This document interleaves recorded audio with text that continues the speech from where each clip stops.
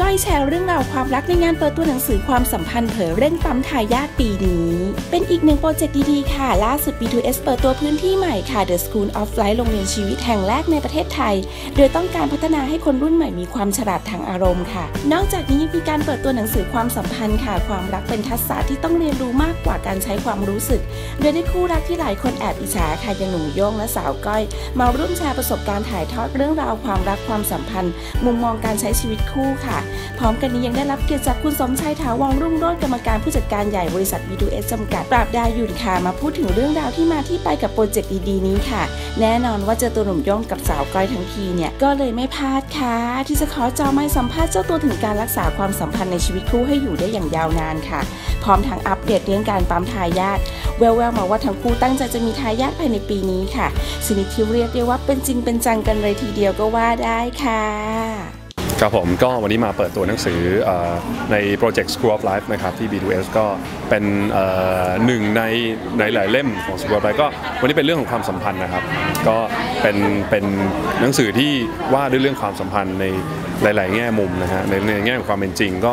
เป็นหนังสือที่ที่อ่านแล้วก็รู้สึกเออรู้สึกดีนะรู้สึกว่าหลาย ๆ คนที่เคยถามผมเข้ามาในอินบ็อกซ์ว่าเอ้พี่โยงทำยังไงแฟน อย่างงู้นอย่างนี้อยู่คนเดียวอย่างงู้นอย่างนี้ก็ผมว่ามันก็ก็ ก็เป็นคำตอบที่ที่ที่น่าสนใจเอาไปใช้ได้เหมือนกัน จริงจริงๆหนังสือเล่มนี้ค่ะ ก็จะไม่ได้หวานแหววไม่ได้สวยงามมาก แต่ว่ามันจะมีมุมเป็นแง่มุมความจริงบางอย่างอะค่ะที่ที่เวลาเราอ่านแล้วเรารู้สึกแบบเออมันจริงอะแล้วก็แบบมันอาจจะเป็นมันอาจจะเป็นหนังสือเล่มที่แปลกจากเล่มอื่นๆนะความรู้สึกว่าค่ะก็คือมันจะมีเรื่องบางเรื่องที่แบบไม่ถูกหยิบยกขึ้นมา หรือว่าถูกหยิบยกมาในอีกแบบหนึ่งแต่ว่าเล่มนี้จะถูกหยิบยกขึ้นมาในแบบที่แบบเป็นมุมมองที่แบบว่า เรามักจะมองข้ามมัน อืม แล้วก็เรามักจะไปแปลงให้มันดูสวยงาม แต่ว่าเล่มเนี้ยมันจะถูกถูกเอ่อเล่าเรื่องในแบบที่ ความเป็นจริงแบบนี้นะ มันอาจจะไม่สวยนะ มันอาจจะมีภาพที่แบบลบบ้างนะ แต่มันคือความจริงอืมมีอันไหนที่อืมก็ค่อนข้างเยอะพอสมควรก็มีทั้งงานร้องเพลงงานแสดง ตอนนี้ก็มีงานงานเป็นเอ่อทำอาหารไปสาธิตเอ่อไปร่วมงานไปอีเวนต์ก็ทำอาหารค่อนข้างเยอะเหมือนกันอะไรเงี้ยครับผม แล้วยังจะมีเวลาให้กัน มีเวลาให้กันไหมมีครับ เพราะว่าไปด้วยกันตลอดเลย เราพยายามไปด้วยกันใช่ฮะค่ะก็คือเราก็พยายามคุยกันว่าเออเวลาที่สมมุติว่ามีอะไรก็ตามอย่างเงี้ยจะพยายามไปด้วยกันก่อนแล้วก็จะพยายามเก็บเวลาให้ได้มากที่สุดครับค่ะพี่เมื่อไหร่ อะไรนะน้องทายาทเหรอครับก็ตั้งใจไว้ว่า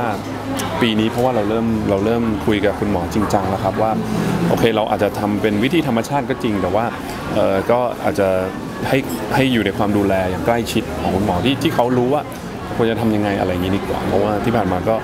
ก็ธรรมชาติเกินไปอะไรเงี้ยทำให้เราแบบชิลเกินไปครับผมพอนี้พอแบบปรึกษาคุณหมอก็เริ่มรู้สึกอ๋อต้องอย่างนี้หรอต้องอย่างนี้หนอแล้วก็แบบ ได้มีมีเอ่อโอกาสเรียนรู้ในการแบบเอ่อดูแลตัวเองมากขึ้นอะไรอย่างเงี้ยค่ะเอ่อมีวิธีในการที่จะแบบทานอาหารออกกำลังกายหรืออะไรก็ตามที่แบบเราเป็นแบบทริคเล็กๆน้อยๆที่เราแบบว่าอืมต้องมาใส่ใจมากขึ้นค่ะครับแล้วจะพึ่งการทำกิฟต์หรือว่าวิธีการทางวิทยาศาสตร์อื่นไหมคะก็อาจจะเป็นธรรมชาติก่อนดีกว่าครับเพราะว่าเพราะว่าก็เราตรวจมาแล้วร่างกายเราก็แข็งแรงดีไม่มีปัญหาอะไรก็อยากให้ให้ลูกเกิดมาแบบ ด้วยการถูกคัดสรรจากธรรมชาติ ตอนนี้ก็คงก็คงแบบแต่ว่าใช้วิธีปรึกษาคุณหมอก่อนใช่ฮะก็คือพยายามแบบเอ่อคุณพ่อคุณแม่ก็ลองทานแบบยาจีนดูไหมอืสมมุนไพรจะมีไหโน่นนี้ะไรโน่นนี้งี้ยออกมากันเต็มบ้านไหว้พระไหมครับผมอะไเงี้ยเราก็โอเคค่ะ อันไหนที่ดีเราก็น้อมรับไว้ครัแล้บวก็ผมพยายามมีเวลาก็พยายามทำกันอะไรเงี้ยอยากได้ก็ได้หมดเนาะโดยอยากได้ลูกผู้หญิงผู้ชาย ได้หมดอะค่ะจริงๆ ชอบชอบเอ่อมีก็ชอบผู้หญิงก็ชอบผู้ชายก็เดี๋ยวคุณเดี๋ยวดูก่อนเดี๋ยวลุ้นละกันค่ะ ได้ฮะก็ขอให้สองมาคนก่อน ก็ดีเนาะเอาเอาเอาเพศไหนก็ได้ครับ ขอให้แข็งแรงแล้วก็แล้วก็มาเร็วๆ ครับผม